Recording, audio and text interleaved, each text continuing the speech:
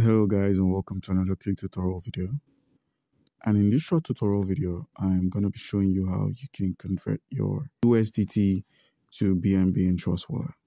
You can convert your USDT BEP20 that is this USDT here by using the toggle at the top right and you search for USDT. You could simply convert this USDT BEP20 as you can see it's a BEP20 token.